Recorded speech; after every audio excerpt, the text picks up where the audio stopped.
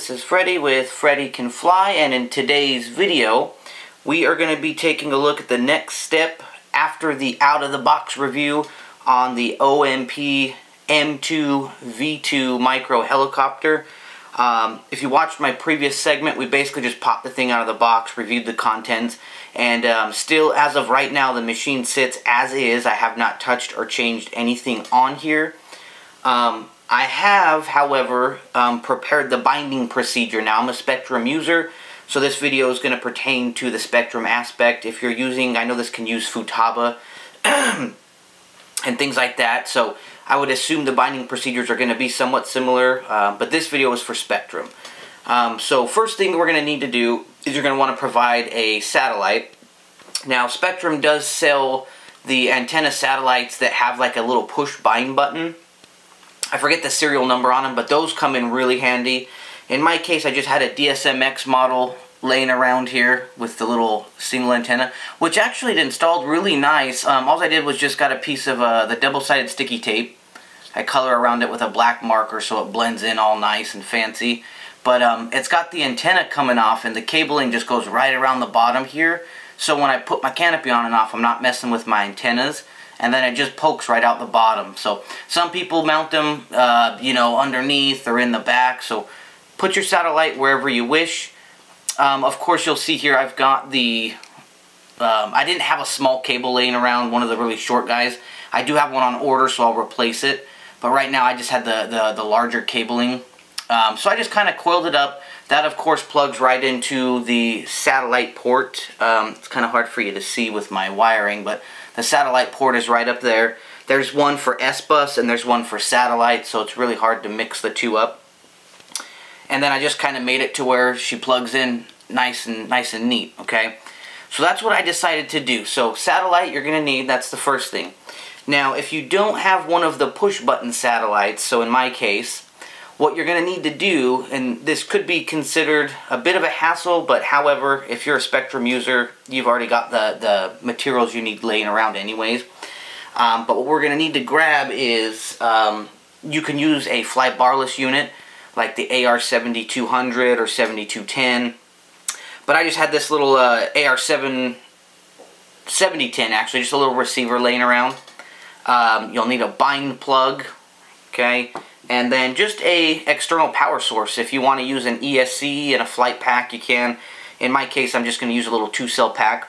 And basically all we're going to do is we're going to boot the receiver, bind our satellite to it, and then um, just plug the satellite cable back into here.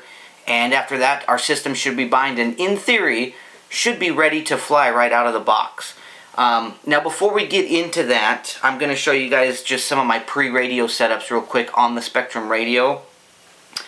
Um, I'm not going to get heavy into things like your your uh, your pitch ranges and your throttle curves and things like that because um, I still have yet to be, be able to really go out and thoroughly test the machine. So I'm just going to kind of do a basic overall.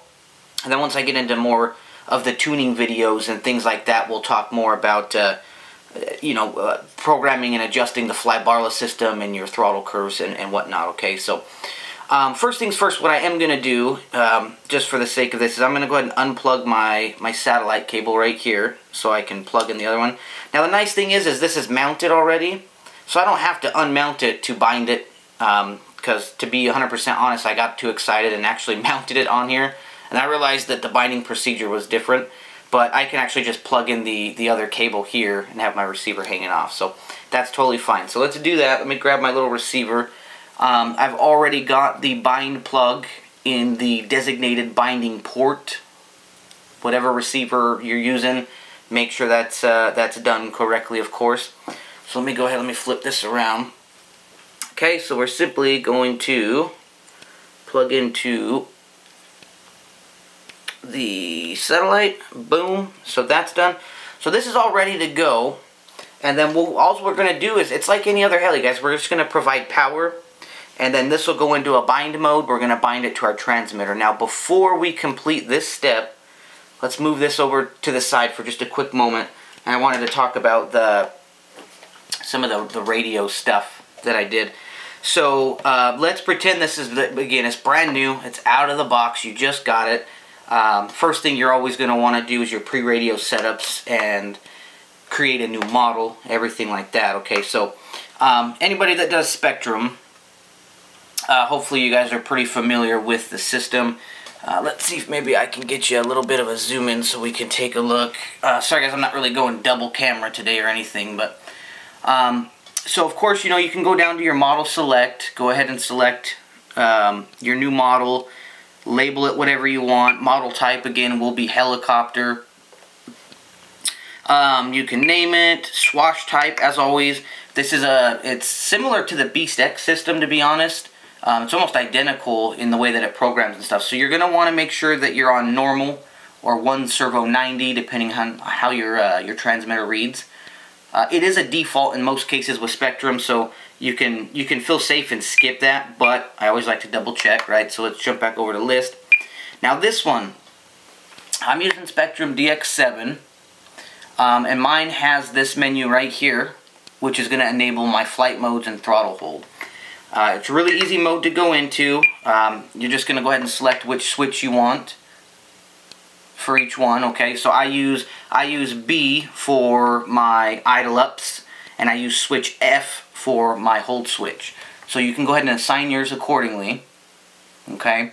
Now, down at the bottom, it's going to have this little little series of, of boxes here. And you'll notice that when I hit the switches, it moves the, the little icon above to let you know which mode you're in. So with throttle hold, all you want to do is set position, what is that? Position zero, um, it lets you unhighlight it, right? See if I scroll through, you can unhighlight or highlight. So basically what that means is on, on my switch, uh, my switch F, position zero would mean throttle hold is not active. But if I do hit it into position one or two, you'll see it toggles. So even if I hit my switch B now, I stay in throttle hold, right? So this means my throttle hold is now active. It is a two position switch, so that's that's why I just go ahead and do like a double redundancy. That way when I'm flying, since I fly with, with pinch fingers, right? So if I want to cap my throttle hold, I can just go boop, like that. Okay, so that's how that works. And once we got that all done, we can go ahead and adventure out of this mode. Make sure all your switches are off and safe. Um, you can play around with things like your spoken flight mode and whatnot, but that's all personal preference, so I'm not going to take it with you. Um, this one, let's go here, channel assign. Um, now, when you very first enter this menu, you have your RX port assignments.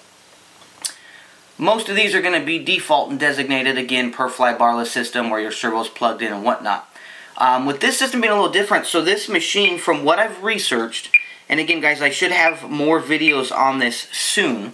Um, but in your normal mode, or I guess we could say your position zero on on your on your idle up switch is supposed to have a self-stabilization mode. And then as you toggle out into idle 1 or idle 2 or position 1 or position 2, um, it's supposed to deactivate that and give you, you know, more more overall control and whatnot. So if we go into the, the RX port assignments, on the very bottom uh, right hand corner there, oops, let's get the light back on, it's got that little next button. See that? Right there. Go ahead and click onto that and it brings you into the channel input configuration. Okay, channel input configuration. Now, from my research and my knowledge here, all you need to do is you're going to go down to the gear channel and once you highlight it, just toggle the switch that you want the gear channel to be tied to. I'm going to tie it to switch B, as you can see there, which is my idle ups. So now that the gear output is, is being controlled by my channel B, that's how, you know, again, when I toggle in between my flight modes and stuff, it'll let me use the self-stabilization feature. Um, I forgot what the default switch is for it. I don't know if it was like D or C or something. But usually if you just highlight it like this and it'll start flashing, you just toggle the switch that you want on off and then it'll set it automatically. So that's all really easy to do. So we're done there and then you can just go back to your list. Um, let's see. Trim setups we don't need. Okay guys, so that's going to be all that we need to do for the initial um, kind of pre-radio setup. Now, it does give you the option with these machines also, and, and, and again guys, I'm testing this more. There's no right or wrong answer for some of these other questions that I'm going to get asked probably, but things like the DR and Expo settings, um, I do know that you can go in and go into your servo setups and play around with things like, um, let's see, where is your DR and Expo? Yeah, so your DR and Expo menus, so you can soften the sticks around center and whatnot. And and you can also, what you can do is you can assign all your, your DR and Expo settings, so position 1, 2, and 3, to your idle up. So it's almost kind of like how the V-bar system works. You can have a different feeling in each, uh, each bank, or each flight mode, if you will, at a different RPM. Some people also just assign the three position switch for DR and Expo um, to, you know, like switch D or switch C. That way you can try out different uh, feelings for each RPM. So let's say you want to fly at 2000, but you're not sure what amount of expo or whatever. You can go in and program three different values and then just put your switch where you want and it'll change. Um, I'm a little old school, guys. I just like to just hit a switch and, and fly my machine. I don't like to play around with all the gizmos. So if I do add any DR or Expo, I'm going to um, assign those to switch B as well. So everything on this machine is essentially tied to one switch. Um, because each mode I have is going to have a different RPM, so I may want a little more, a little less on the DR and Expos. I don't have any set values yet, so right now, um, I mean they're default. I, have got I've got 100 and 100 on dual rates, Expo at zero. I'm pretty positive that that number is going to change. If you want to, if you want me to recommend like a default, maybe shoot for like 20 to 30 percent on the Expo. Um, head speed depending, of course. But since this uh, M2 V2 has a programmable system now, take in mind there's a lot of adjustability similar to the Beast X where we can adjust servo throw and servo, you know, the dampening and the speed and the agility. So I want to fly the heli at default first and just see what it feels like then I'll have a more educated decision on what adjustments I can make, okay? Um, throttle cut, we don't need to worry about because I've already activated my throttle hold in the previous menus. Um, again, throttle curves, guys, um, I, am just I'm just rocking the plain Jane normal setup because I haven't had a chance to really take her out and fly. So here's a quick shot of my normal mode. Idle 1. Idle 2. These numbers may change drastically once I get it out and really give it a go. Um, pitch curves, I'm just leaving linear across the board. 0, 25, 50, 75, 100. If you want to adjust your normal mode, like on our larger helis, how it's usually um, a little bit uh, uh, less on the low end, you can do something like um, 40, 45, 50, and then go uh, 75, 100 if you want. I don't play around with normal mode, so I, I probably will just leave it linear. But if you wish to choose to, to, to switch that around, feel free to do so. I'm not going to worry about it. You don't need the gyro menu, uh, governor, tell me thing. So that's it, guys. That right there is your basic radio setup, okay? So we don't need to worry about that too much anymore. Now all we need to do is, let's get, let's get this bad boy ready to bind. Now I could go back into the bind screen and do it, but I'm just going to go ahead and I'm going to power down. Cause I like to I like to do the power up bind for some. I'm I'm weird that way, I guess. Um, and let's get our, our machine back over. Now, one thing I do want to do, guys, you do not have to do this, and you are not required to do this, but I'm kind of a, a safety Nazi. So I'm to just, real quick, I'm just to pop the main blades off. That way, if for any reason um, my settings were wrong or I was doing something I'm not supposed to be doing, I just don't want the machine to spool up on the bench. Um, I'm okay with leaving the tail on so I'm not too worried about the tail spazzing out or anything. But let's see if I can pop this off real quick. Hey, let me grab a set of pliers. Sorry about this, guys. Um, but I'm going to pop this off. And also, the reason I'm going to do this, too, is instead of just getting it right out of the box, binding it and flying it, which that's what you should be able to do, um, it's kind of my job to really look at things from a different angle and a different aspect than most do. So I'm actually going to thoroughly bench test everything as well. I want to make sure my hold is is working and I want to make sure that uh, you know all my servos are working properly and, and everything like that. Because let's be fair guys, this is not necessarily a, an inexpensive micro heli. Uh, it is it is inexpensive in the manner that you know buying parts and whatnot is not very expensive, but um, these these kits usually retail about 350 uh, US minus things like shipping and everything. So I would hate to take it right out of the box and, and have a slight malfunction. Plus, um, I have not had a chance yet to actually throw a little pitch gauge on here and see if from the factory, okay, these are supposed to be, again, out of the box, ready to go. I don't know what my maximum and pitch range is set to or anything. You're just supposed to be able to go out and fly it. So I like to get into all the bells and whistles. So I'm going to take these off just to be safe. Okay, let's flip this over here so you guys can see. Now once I go ahead and plug this in, we should take, remember we're on our receiver right now, right? We're not even in theory connected to the helicopter except for the fact that I have this mounted. So let me go ahead and find my power port on my receiver. Mm -mm -mm. Right here. Let's go ahead and throw it in right here. Okay, boom. Alright. So we've now entered into bind mode, standard stuff. I'm going to kind of back away a little bit. Let's do the bind. Binding. DSMX 22 milliseconds. Wait for it. But boom. Okay. So we now have successfully bound. So I'm going to go ahead and let's disconnect power. Okay, pop that out. I'm gonna power down my radio.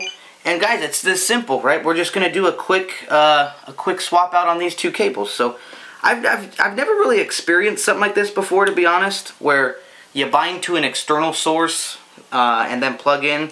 It is a first for me. Again, take in mind, guys, I, I haven't played with everything out there, so um, that might be a complete understatement. But um, I'm to go ahead and just pop this back in. Bear with me here real quick. Boom, that pops in there. And honestly, guys, I might not even replace this little cable. Um, I think I did a nice enough little wiring job that it just sits there nice and tight. And if it's not fixing, no reason to, or I'm sorry, if it's not broken, no reason to fix it. If it's not fixing, it's been a long day for me, guys.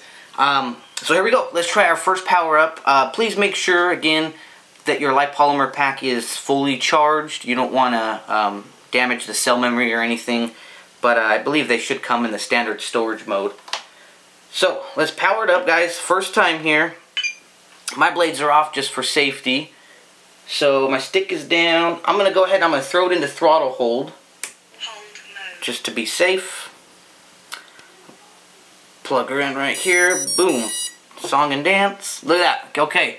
So, we've got our solid light. Let's wait for the gyros to initialize.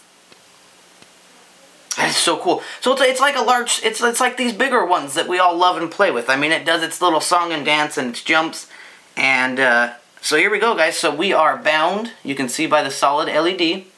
Um, minus the fact that my stupid cable's in the way, but you can see the, the LED indicators. Um, and again, guys, I've got a video that'll be coming out soon that'll show you how to adjust everything on here. You can adjust every servo independently. Um, you have the you have pitch, speed, agility, uh, and gain values. So that's going to be really interesting. Um, again, it's just got a set button, kind of like the Beast X. Um, everything looked to center up really well. Swash looks to be relatively level, and again, I'm moving it, and the and the the, the swash is moving too. So gyros are active. Okay, so right now I should be in throttle hold, so I'm going to check with my radio. If I throttle up, Okay, cool. So nothing spooling up on me. Um, travel looks to be pretty decent. I don't see. I think the swash looks pretty level, guys. I'm gonna I'm gonna try a test flight on this right out of the box. Uh, forward elevator, backwards, right, left, right, left. Cool. Everything seems to work. Of course, your rudder doesn't move because it's done with an actual tail motor, so that's gonna speed up or slow down. Um, so let's do a quick little bench test, though. I'm gonna come out of throttle hold. Let's see if it spools up in normal. I'm going to hold it to make sure it's all safe here, but let's see if it spools up. Yeah, cool. Look at that. So you can hear the tail. It's got great response, too. Cool, everything looks good, guys. Let's see. Swash is moving, everything's counterbalancing. Now, one thing I'm going to do, and I don't recommend this because this is probably not the safest idea in the world because my tail is on, But let's check to see if our idle up modes work. Okay, so I'm going to do an idle up here. Stunt 1. Stunt 1 works. Stunt 2. And throttle hold. Hold mode. Ba-boom. Alrighty guys, so that's going to be the end of this segment. Um, again, in the next video, couple of videos actually, these plugs are tight. Um, I'm going to do a series on the bench setup. We're going to put a pitch gauge on here. We're going to check everything and see just how reliable this is right from the factory. Um, we're also going to go through how to make your adjustments on the programmable flybarless unit that they've got on here. Uh, and then we'll talk more about throttle curves, pitch curves, DRs, and expos. Um, but the next video I should be posting is going to be a right out of the box, everything default test flight. Um, and we're just going to kind of have to, to see how it goes, guys. So thank you so much for watching. Uh, I'm very, very excited about this product. Feel free to like and subscribe. And remember, my friends, if Freddy can fly, so can you.